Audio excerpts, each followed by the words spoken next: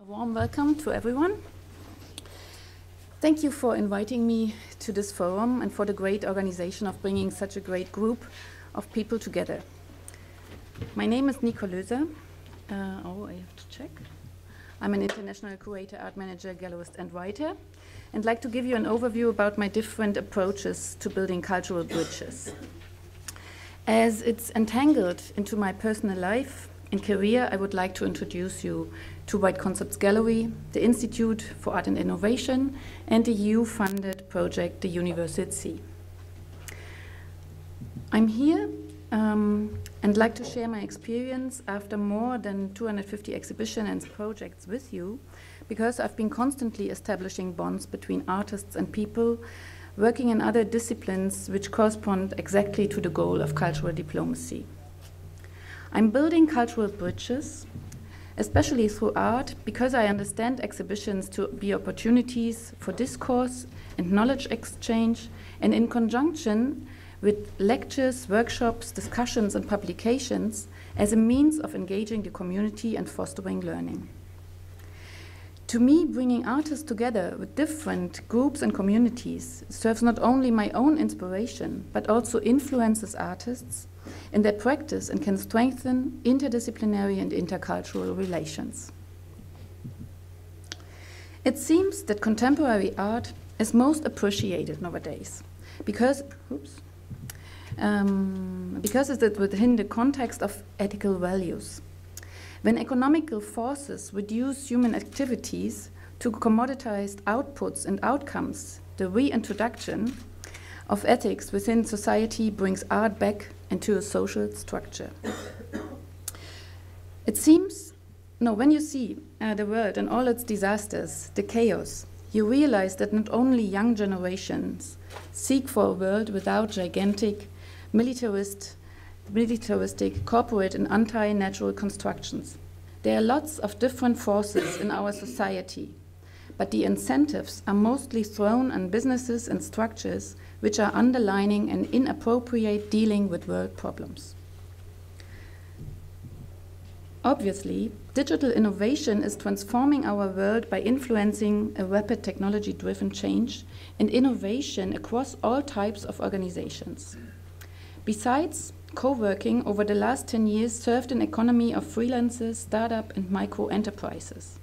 These modest beginnings have created a movement which spans the world. I think that agile, improved environments that enhance the contextual, collaborative, and creative capacity of people are essential and shifting towards a visionary role. And this revolution is going mainstream. When I founded White Concepts Gallery eight years ago, I didn't want to open just another one of these at the time existing 450 art galleries in Berlin. Instead, I had been looking for an opportunity to use abandoned places to curate independent art shows.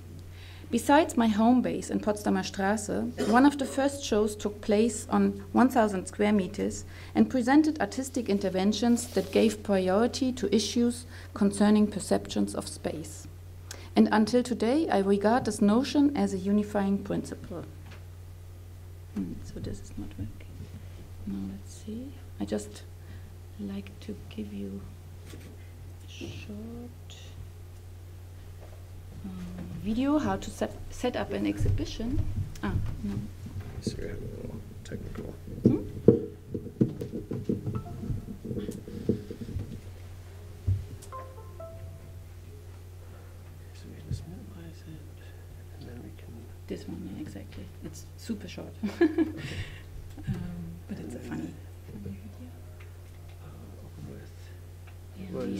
Oh. VLC, VLC it was. Yes, exactly. Okay. So that's it. And this is also what people don't know. Uh, when you see an exhibition, you don't see how long it took and how many people were involved. Yeah, I will come back uh, later to this exhibition, especi uh, especially. yeah, that's it. So, um, back again. PowerPoint.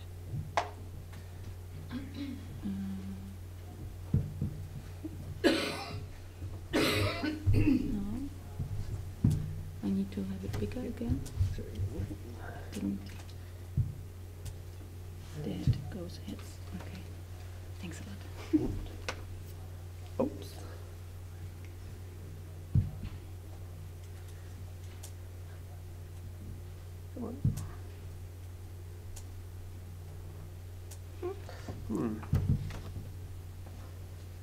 Sorry, one moment, please. That's strange.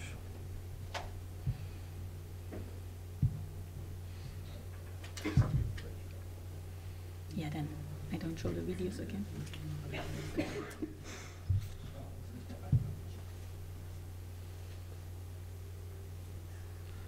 Uh, this, That's a strange thing. Maybe. what is going on? Oh, Display.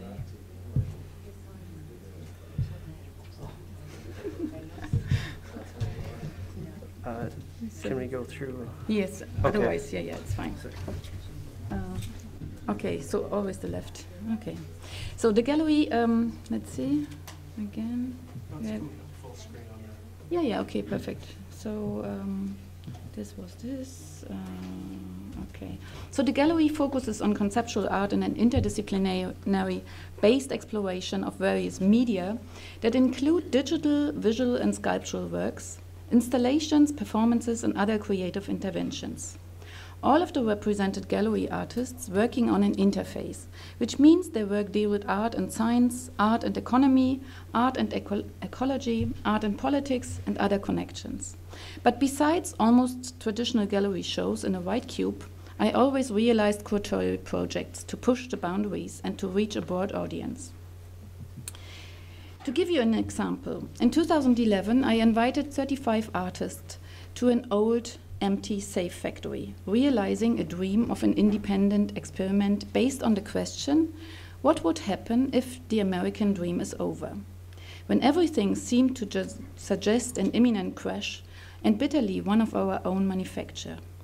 Are we too passive in simply putting together economic and aid packages, or can we overcome the apparently vicious cycle? And can art itself serve to form a new position and even create a new vision? Or is art relegated to the confines of commercial enterprise, to the creation of products? In this show, all artists were dealing with all kinds of problems, whether in a dystopian or utopian way. In only four days, the show attracted more than 5,000 visitors, and the works were so intense that even years afterwards, people told me about their feelings. So, what you can see here is a work by Hajnal Németh, an Hungarian artist. She also represented Hungary at that time at the Venice Biennial. Um, and uh, she came up with this idea okay, bring me a car, and then it gets dismantled in 72 hours by a mechanic. But she also invited an opera singer, and this uh, opera singer sang one line for each object which was in the car uh, used. You know, so uh, yeah, you can imagine how many screws and cables and whatever um, uh, they had to dismantle. Um, over the years, I curated shows on art and money, like the Golden Cage in 2012. What you see here on the right is a work by Thomas Eller, a German artist, and um, he was um, showing us the, the coins of all European countries who joined the Union. And um, but this is these are the um, uh, the coins of each country. As I mean, the, the European money. um, but you you see uh, some coins are a bit bigger, other are smaller. Some of them are blurred, yeah, and so on. So um, yeah, you can have a lot of different associations. Um, and this piece was also in in the show. Um, it's a rock formation. Uh, it's called High Altitude. It's a photo simulation, you can say, uh, by Michael Najjar. And of course, the rock formations they don't exist physically, but they are very pres present in our society of simulations. The photos visualize the development of the leading global stock markets, over the past 20 and 30 years. So each stock market index, such as Dow Jones, Nikkei, Nasdaq, and more specific Lehman Brothers stock, quote, downfall, corresponds uh, to a rendered unique mountain range. Besides the exhibition, The Golden Cage, um, and performances which took place, um, Gesine Schwan, twice candidate for the German presidential election, took over the moderation of the panel discussions with economy experts, philosophers, and artists. And I also like to mention the Art and Pacifism show, Who Wants to Die, in 2016, where young graduates from several European art academies were invited. This show is now traveling to Budapest to be shown in October at the Austrian Forum and the Polish Institute. Um, what you can see on uh, here, uh, this atomic bomb sculpture, let's see. Um, they are uh, little figures um, on the bottom, and uh, the artist um, thought uh, they would do a barbecue, uh, so sausages, let's say. Um, but at that, at that time, Nobody in Berlin recognized that this was actually a barbecue, the artist meant. They thought of selfie sticks and mobile phones. So, um, yeah. um, and then the next one was also included. I mean, only two um, choices by me. Um, this is an artwork by Andre Urba. And uh, he came up uh, with this piece uh, because uh, he thinks that people don't appreciate life so much, so it just uh, comes in a gift box, uh, but then you throw it in a corner, and sometimes it's on or off. so, um, yeah, moreover, I develop projects in close collaboration with artists to raise awareness for the importance to preserve and respect biodiversity. Here I like to draw your attention to the Tree Walker project with the German artist Christoph Butt Asmus. It took place in three African countries, and um, the artist um, had a dream nine years ago uh, to walk along the highest branches of trees.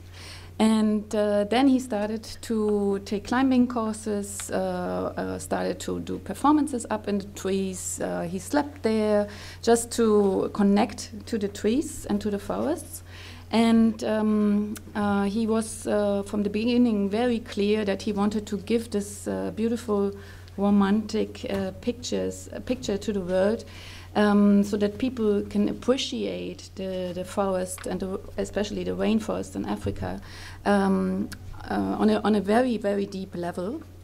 Um, because uh, in, in, these countries he has been to, um, uh, people think that the bad guys come from the from the forests, yeah, because it's uh, they don't know so much about uh, the the plants and the the wildlife there, and that's why um, uh, they they belong uh, they stay in the cities, yeah, and uh, they do, they don't like to go out.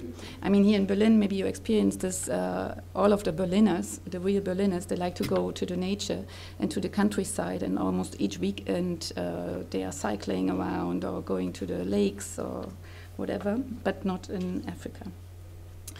I mean, the artist uh, experienced this. And another interesting project um, titled Battlefield Love Memorial took place with the Austrian artist Nikolaus Eberstaller and was realized as an art peace rally with 200 participating students here in Berlin in the frame of the 70th anniversary of the end of World War II.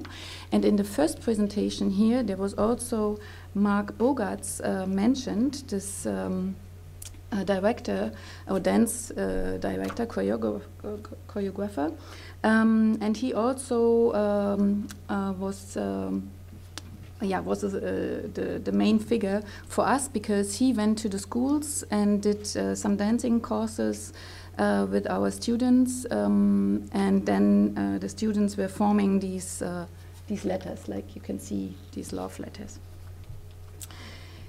So the mission of White Concept is focusing on the exchange among artists and patrons about ideas concerning contemporary art and how ideas can be transferred into society. My central interest is in featuring socially reflective and environmentally focused projects that introduce diverse and forward thinking perspectives. I assume that art provides me the freedom to choose the topic which I find most relevant to mirror. Since my childhood in the GDR, I believe that the world can be changed to the, to the better and always find a way to do so. With this deep impression how easily its system change can happen, I'm now waiting for a global shift to gain awareness for our planet and to stop most of our senseless activities. Which brings me to the main question here Can art be a trigger for action and reaction? I believe art touches people on an emotional level, whether consciously or unconsciously. Art inners the world. It influences the behavior of people. And art raises awareness of different cultures, the relationships between people, communities, and societies, and of course, our planet. Here you see Katrin Kaufmann's photo artwork showing various places on Earth documenting collective rituals. It's a project that highlights the visual rapport between social realism and euphoric utopianism, referencing the visual and material facilitation of socially unifying rituals. Rather than showing a sum of individuals moving, her work records people merging into one being.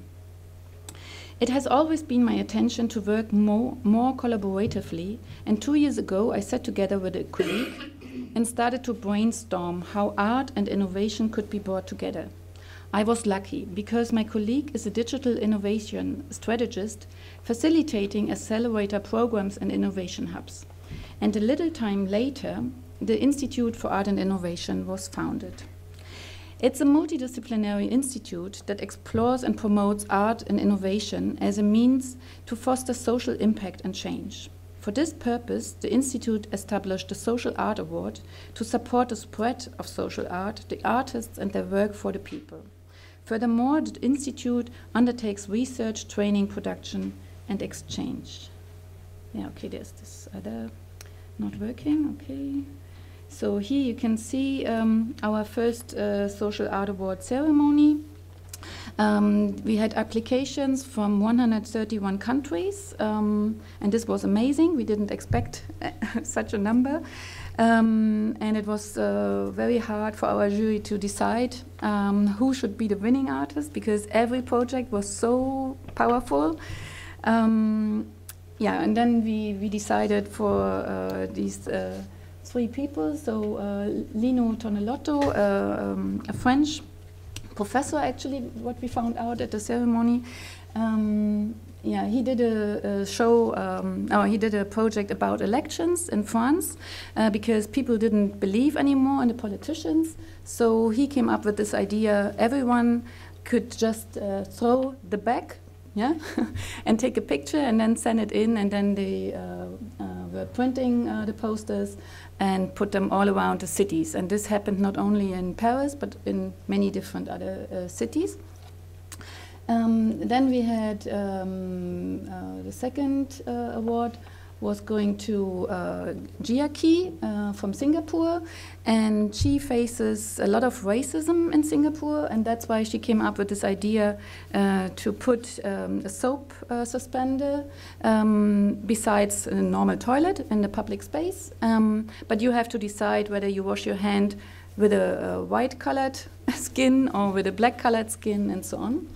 Um, and then Diogo da Cruz, he's from Portugal.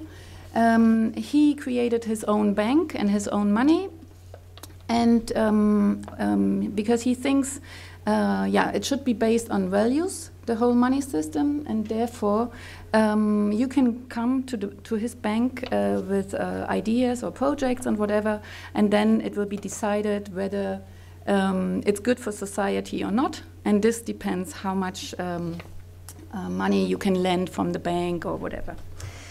So, um,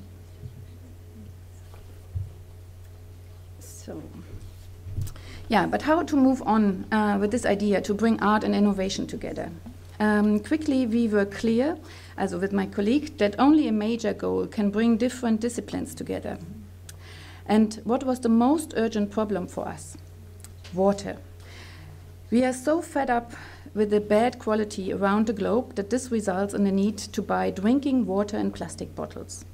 So over half a year, we developed uh, an, an idea and applied for funding within the Creative Europe program. Um, this program, uh, uh, this um, uh, project brings together artists, scientists, and entrepreneurs together with the public and really to fight plastic pollutions in the ocean. Uh, it aims at supporting a movement of change makers, and it's all about joining forces and providing inspirations to find, develop, and spread effective, sustainable solutions against this major anthropogenic problem, especially of plastic waste. We believe that science provides the fact, art can be a catalyst for change, while entrepreneurship enables the long term success.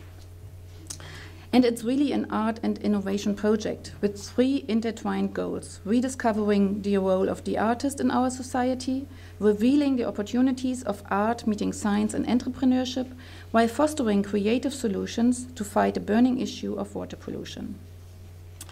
So, what we do now with people and organizations around um, across Europe is organizing a series of events. Through an open call, we reached out to creatives whose artwork deal with this water uh, problems and received again 250 applications from almost 40 countries. And um, yeah, and they play um, a very uh, important role in our project by sensitizing the people and communities. Uh, in uh, two, two months, a grand opening uh, takes place. It's an art and science exhibition.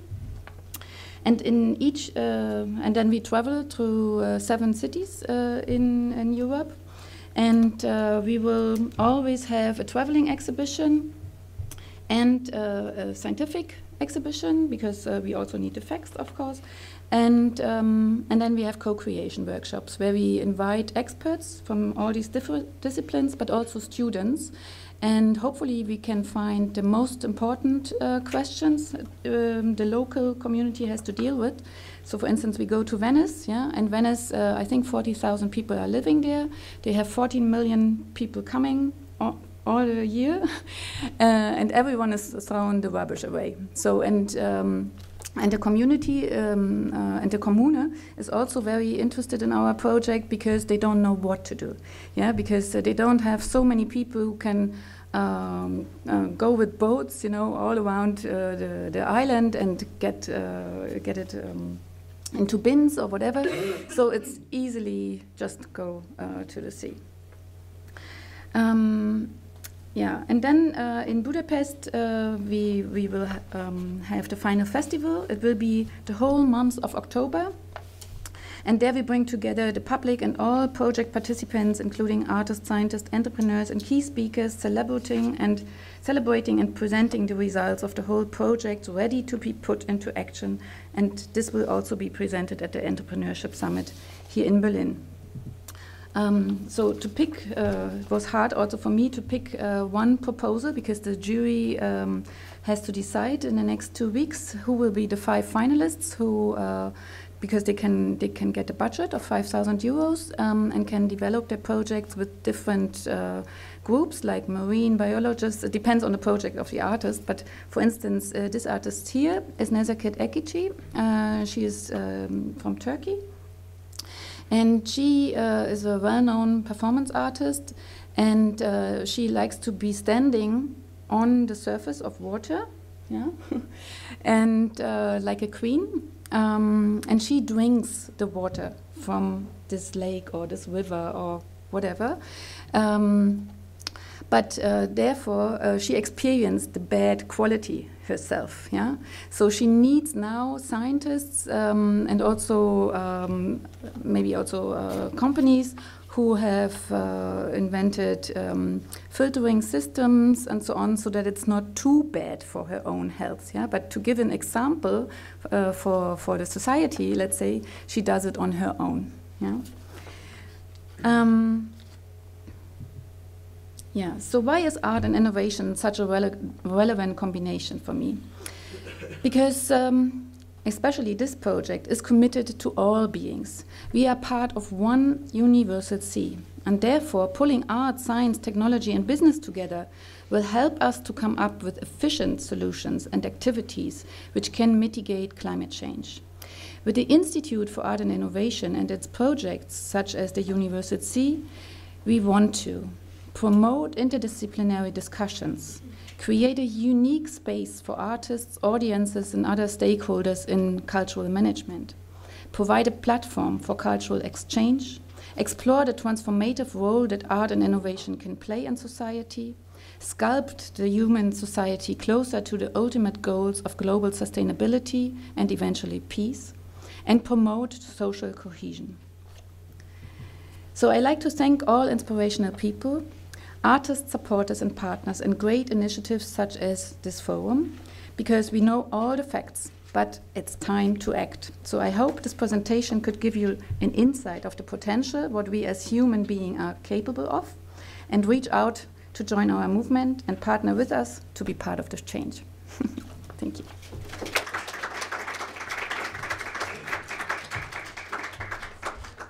Okay, we have time for uh, one or two quick questions. Does anybody have a question they would like to ask? Okay, yes, in the front row. Hi, my name is Alexa. I'm from Germany. Um, I would- would just like to know, because you call it artist cultural diplomacy, how do you decide whom to invite? How do, how do you reach out to people? How do you get people involved who aren't already involved in the art scene? Mm, yeah, I mean, uh, for me personally, it's not uh, the issue because I know so many different groups, and I always think of projects how to include these people. so it's, uh, sometimes it's the other way around. So I, whether it's a burning issue for me, and then I do a research, uh, research.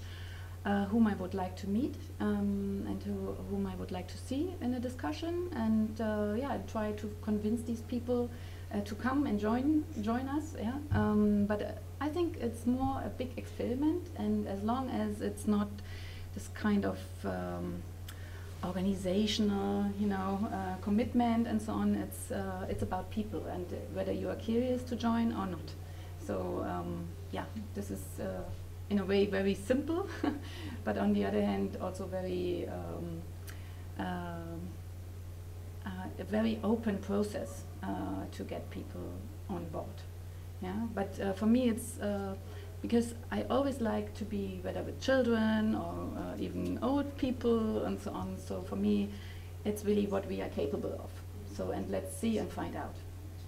So do you get other people's opinions on who they would like to see also, or who you should ask and invite to avoid selection bias? Mm, it depends. I mean, for this project, for the Universal Sea, of course, uh, because there are so many beautiful uh, initiatives out there, and we don't know all of them, and some of them are so small uh, and can't easily be overseen. So um, it's also good to get in touch with the local community, with the local organizations, and find out who should be uh, invited. But then on the other hand, if I did my research well, um, I also asked them, do you know about them and so on, and no, I don't. So I like to include them, yeah, also to, to give this inspiration um, to the group. Yeah. So it's, it's uh, in my opinion, it's, it's more this curiosity uh, which brings people together and uh, not if you know each other well, I mean, why should we do a project, you know? So um, yeah, it's always this diverse uh, groups which I like. Mhm. Thank you. Okay, yeah, we have time for one more question here.